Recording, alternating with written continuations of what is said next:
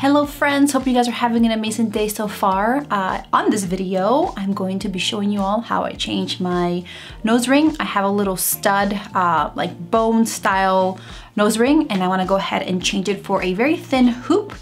Um, I have done this video before a while ago, and it was kind of rough because it was my first time, um, but I think I got it down pack, down packed, and so I wanna show you all how I do it.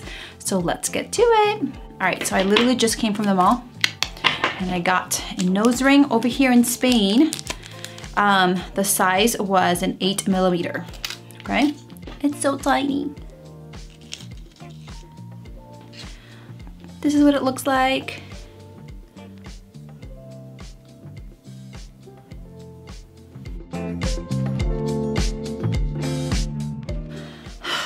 All right, it is stainless steel and I think it has, it's been dipped in gold, okay, at least once. So, that's how small it is. I'm gonna go ahead and zoom in. Okay, so like I said, I have this cute little stud, all right? I've had it for a while, um, and it's really pretty, but I wanna change it up. Um, my hole has actually shrunk because uh, this is so dainty and so minimal and so small and tiny and thin um, that I try to get a thicker hoop and it didn't go through. And so I wanted to make sure that I got a nice little thin one so that it fits, okay? So first thing you wanna do is that you want to clean this. You wanna clean it with alcohol just to sterilize it. We're also gonna clean with alcohol um, our little area, okay? All right, so I've got some Q-tips right over here. Go ahead and spray some, I've got some alcohol in a bottle here. I'll go ahead and clean my hoop. And then I'm also going to clean around the area where I'm gonna change the ring. Go all the way around. Taking all my makeup off. Okay. All right, so next thing is that we're gonna go ahead and pull this bone uh, nose ring and just put your finger, I know it's gross, put your finger in your nose. We're gonna go ahead and just twist it around like this. And it's out.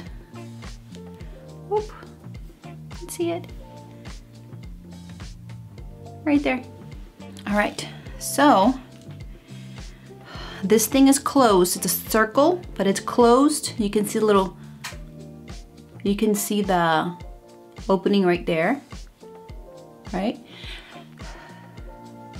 What we want to do is this is the circle, right? This is the nose ring. We don't want to move it like this or open it like this, okay? They're telling us, or I've heard that you have to open it like this, all right, on the side. So again, you don't wanna stretch it out. You just wanna go this way. I tried doing that last time and it didn't work. I had to open it this way. So hopefully I won't have to. All right, let's go ahead and I'm gonna go ahead and twist it. All right, actually I'm gonna go ahead and clean it really quick we're going to go in, find the hole, and wiggle it. Wiggle it. Wiggle it. There we go. You may need the assistance of some tweezers to kind of help thread it in.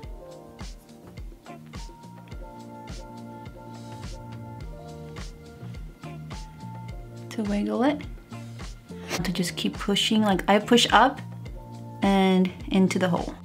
So again, push it up and then just thread it in. Up and thread it in. And you gotta wiggle it as well. Wiggle, wiggle, wiggle, wiggle. Okay, my nose is a little red. So now you can see the other half came out, is coming out this way. You see it right in the bottom right there. So now we're gonna join them. Join them together. They were like this, and now we're gonna whoop and join them. It could also help if you use your tweezers to like bring them together. All right, so once you've joined them together, as close as you can, you wanna hide that inside the nostril. So with your fingers or with your tweezers, just kind of push it in. And there you go. And my nose is red. from all the playing around that I've been doing. All right, guys, and that's about it. I'm gonna go ahead and powder my nose because now it's just so red. All right, guys, so that's about it. Very easy. Like I said, make sure you have your alcohol, your Q-tips be able to clean both your, your nose and the nose ring before you insert it. Make sure to wiggle it as you're going in. Make sure to open it this way, not this way, and to use tweezers to help thread it and to join both ends at the end. All right, guys, thank you so much for watching. Stay tuned for a few messages from myself. Love you all, and I will see you on my next video. Bye. Hello friends, thank you so much for checking my videos out. Um, it really does mean the world to me that you guys take the time to watch them. I put a lot of time and effort and I have so much fun with them. And so it means a lot that you guys are actually taking the time to watch them. Um, just wanted to share a few things with you all. It won't take long at all, I promise. Number one, um, I accept prayer requests. Um, if there's anything that you are going through, anything that you would like for me to pray uh, over, um, just go ahead and contact me. Uh, my email is below. You can also contact me through social media, uh, even uh, through the comments section here in this video, and I will go ahead and add you to a prayer list that I pray over. And I would love to have a conversation with you and even share what my faith is about and why I pray um, and all that good stuff. So just go ahead and contact me if that is something that you would like to do.